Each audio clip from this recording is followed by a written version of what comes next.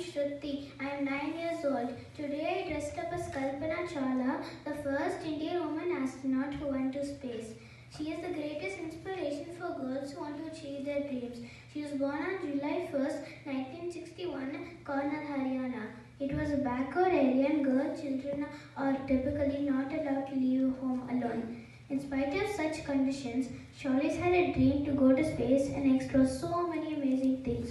With great support from her parents, she obtained bachelor's degree in aeronautical engineering from Punjab Engineering College and pursued her master's degree in aerospace engineering in United States.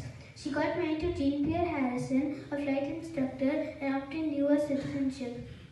In 1997, she made us proud by becoming the first woman astronaut of Indian origin to fly into space.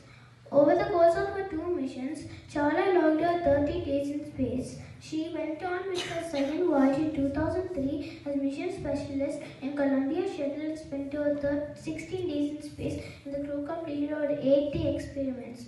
During the return, Kalpana and the crew lost their lives when the shuttle had a tragic accident few minutes prior to scheduled landing. But she still immortal in our hearts. Thank you for giving this opportunity to share a few words about Kalpana Chawla and concluding the speech with her quote, when you look at the stars and the galaxy, you feel that you are not just from any particular piece of land but from the solar system. Jai.